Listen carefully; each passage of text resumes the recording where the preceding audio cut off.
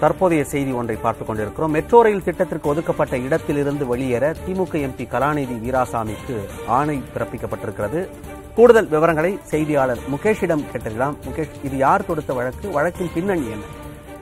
ஆஹ் நிலமாக இருந்த ஒரு நிலத்தை வந்து ஆக்கிரமித்ததாக ரெண்டாயிரத்தி பதினொன்றாம் ஆண்டு தமிழக அரசு வந்து திமுக எம்பியாக இருக்கக்கூடிய கலாநிதி வீராசாமிக்கு நோட்டீஸ் அனுப்பியது அந்த இடத்திலிருந்து வெளியேற்ற வெளியேற வேண்டும் என்றும் அனுப்பிய நோட்டீஸை எதிர்த்தும் தனக்கு இழப்பீடு வழங்க வேண்டும் என்று கலாநிதி வீரசாமி வந்து வழக்கு தொடர்ந்திருந்தார். அந்த வழக்கு வந்து நீதிபதி எஸ் எம் சுப்பிரமணியம் முன்பாக விசாரணைக்கு வந்தது.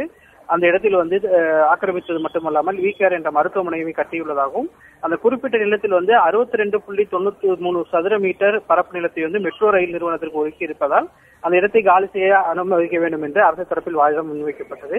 ஆனால் கலாநிதி வீராசாமி தரப்பில் வந்து அதில் அது கிராமநத்தம் நிலம் கிடையாது என்றும் தான் வந்து பணம் கொடுத்து வாங்கிய நிலம் என்றும் வாதிடப்பட்டது.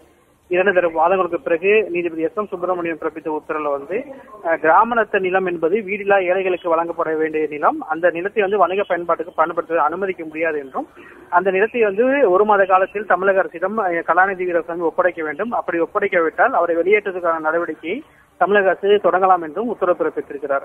அதே சமயம் மனுதாரர் ஒரு எம்பியாக இருப்பதாலும் அவரது தந்தை அஹ், ஆற்காடு வீராசாமி முன்னாள் அமைச்சராக இருந்துள்ளதாலும் அவர் அவர் நிலமற்ற ஏழை என்ற கருத்தில் கொள்ள முடியாது என்று கூறி நில நிலத்தை தங்களுக்கு ஒப்படைக்க வேண்டும் என்ற கலாநிதி வீராசாமியின் கோரிக்கையை நீதிபதி நிராகரித்திருக்கிறார். அதே சமயம் தமிழகத்தில் சமூக நீதி பாதுகாப்பு என்று கூறும் அரசியல் கட்சிகள் மக்கள் விருப்பத்திற்கும் க- கௌரவம் வழங்கும் வகையில் வந்து செயல்பட வேண்டும் என்று அறிவுறுத்தி வழக்கை முடித்து வைத்து உத்தரவு பிறப்பித்திருக்கிறார். அந்த குறிப்பிட்ட அந்த நிலம் குறித்த பின்னணி என்ன முகேஷ்? மணிமாறன் தங்களது வினா புரியவில்லை. மற்றொரு முறை கேட்க முடியுமா இல்ல குறிப்பா அந்த அந்த இடத்துல வந்து காலி செய்யணும் அப்படின்னு கொடுத்துருக்காங்க அந்த நிலம் இருக்கு இல்லையா? அந்த நிலம் வந்து மெட்ரோ ரயில் திட்டத்திற்கு ஒதுக்கப்பட்டது அப்படின்னு சொல்லியிருக்காங்க. அதோட பின்னணி என்னன்னு கேட்டேன் மெட்ரோ ரயில் திட்ட பணிகள் வந்து சென்னையில் தொடங்கிய போது அந்த குறிப்பிட்ட அறுபத்தி ரெண்டு புள்ளி ஒன்பது மூணு சதுர மீட்டர் நிலம் வந்து மெட்ரோ ரயிலுக்கு நிறுவனத்திற்கு ஒதுக்கப்பட்டது.